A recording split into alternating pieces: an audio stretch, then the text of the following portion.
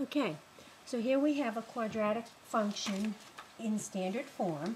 f of x equals a times the quantity x minus h squared plus k. In this case, a not equal to 0.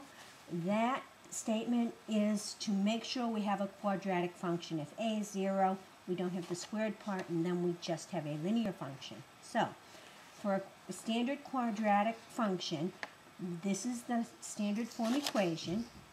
From this equation, you can nicely get the vertex and the axis of symmetry, which really aids in graphing a quadratic function. And oftentimes, I'm going to be asking you to graph the quadratic function in addition to finding the vertex and the axis. So, let's do an example here. All right, identify the vertex and the axis, then graph f of x equals 2x squared plus 8x plus 7. So, the first order of business here is to change this form into standard form of the quadratic function. To do that, we first have to rearrange the equation, factoring out the 2. So I'm going to rewrite it, factoring out the 2 first. So f of x equals 2 times the quantity x squared plus 4x I notice 2 doesn't go into the 7, so I'm not going to use that 7. I'm going to move it over. I'm going to put a space here for a new number that we're going to find, plus a space for subtracting that new number, and the plus 7 that we didn't want to use. Now what happens here, when you're dealing with equations, you can't just go changing the value.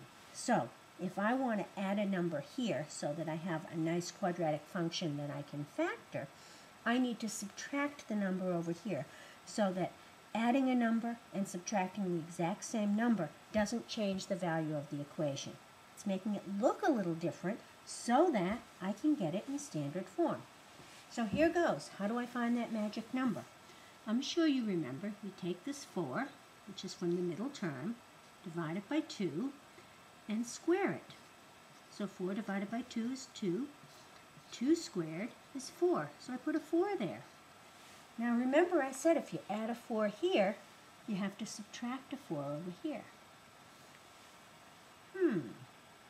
Notice anything? You see this 2? 2 times 4? That's really an 8. That means I have to subtract 8, not 4. So be careful. That's one place where you could make a little error. All right, so we use complete the square to figure out perfect number there. Why? So that this trinomial can factor into a perfect square binomial. Here we go. I'm going to rewrite it, 2, and I'm going to write that trinomial in factored form. It's a binomial squared. Do you know what it is? You must know there's a plus in the middle. X here, 2 here. Now, when we write the rest of this, let's combine like terms. So all we have is a minus 1. Now you'll notice I have standard form of a quadratic. What's nice about standard form is now I can find the vertex Do you know what it is? You could pause the video for a minute, write it down, and then see if you get the same vertex that I get. I need to know the h and the k. Minus 2, minus 1. And the axis of symmetry is x equals negative 2. You notice anything interesting about the numbers that I wrote?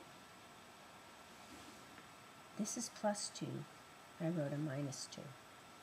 This is minus 1. I wrote a minus 1. You need to remember that. You need to remember that the h is always the opposite sign.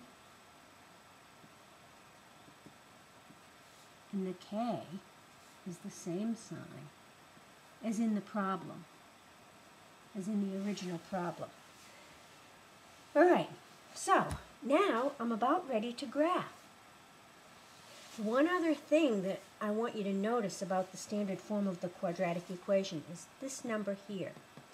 That A gives us some clues about the graph. And the two important pieces of information, A could be positive, which is greater than zero, or A could be less than zero or negative. And I have a little helpful hint I like to write next to those symbols to remind me what the curve is going to look like. When A is positive, I have a curve that holds water. I think of my curve as a goblet, and I have a glass of water. If A is negative, doesn't hold water, so my goblet's upside down or empty. So, in this quadratic function, I know the vertex, I know the axis, and what kind of picture is it going to be? Hold water or not hold water? Hopefully, figured out that it's going to hold water. So I always put a little clue here so that um, when I get my graph, I look and see if I came out with one holding water. If not, I go back and try and find a mistake. Now, another thing I like to do, this is only one point, and it's the point on the vertex, it's the vertex point, which is either the low point or the high point of the curve. So I like to pick a point close to the vertex so that I have another point to plot. So let's pick a point. Now, if negative 2 is my vertex, I want to pick a point very close to that. So I'm going to pick a point negative 1 and figure out the partner value that goes with that. So I go back here to the original. When I pick the point as negative 1, I get negative 1 squared, which is 1, times 2, which is 2, plus negative 1 times 8 is negative 8, plus 7. When I simplify all of this, I get 1. So, when I plot negative 1, I should get the value 1. And hopefully, those points will start to give me a curve. So let's plot them and see what we get here. So let me put a little graph here. All right, right there. So we have a vertex, negative 2, negative 1. Over 2, down 1. There's my vertex. My axis, x equals negative 2, that would be this line here. Up here. The axis is interesting because the parabola is the same on both sides. I could fold my paper on that axis and, and both sides should match up. All right, so I plotted my vertex. I got my axis there. Here's my pick a point. Negative 1, 1. Now, since I, my parabola is symmetric, and I picked negative 1, negative 1, 1,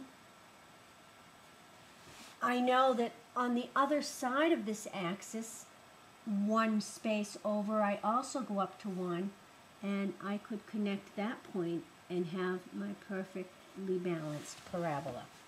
So, um, if I pick the point negative 1, I can also pick the point negative 3. And that should also come out to be a 1 if I plug it into the original equation, which is back here. You can test that on your own. I'm not going to do that. So, there we have um, the graph of the quadratic equation. Now, um, another thing that you sometimes have to do is find the intercepts. What are the x-intercepts of that graph? Um, and finding the x-intercepts is a good way to test test out to see if your, your graph you did with these points is in the right vicinity. So let's do find the x-intercepts here. All right, so find the x-intercepts. You take the original equation and set it equal to 0. So 0 equals x squared, whoops, 2x squared plus 8x plus 7.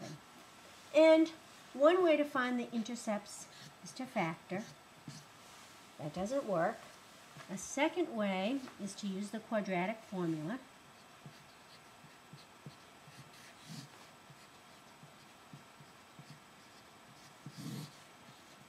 Over 2a. So, what are the A, B, and C here?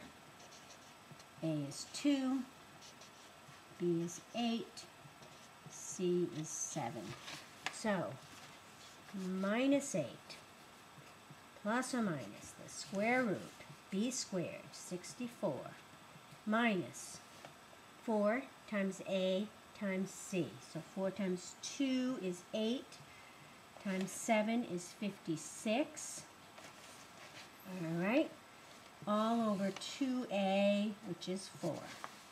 Now, if I simplify that, I end up with, let's go over here, negative 8 plus or minus 64 take away 56 is 8 all over 4 minus 8 plus or minus 2 2 all over 4 and at this point I would use my calculator hopefully you always have yours ready so we can find out exactly what that number is so minus 8.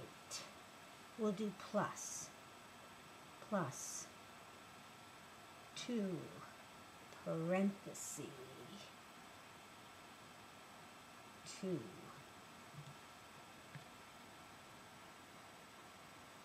Get that answer, divide it by 4, and I get at 0 I should be at negative 1.29.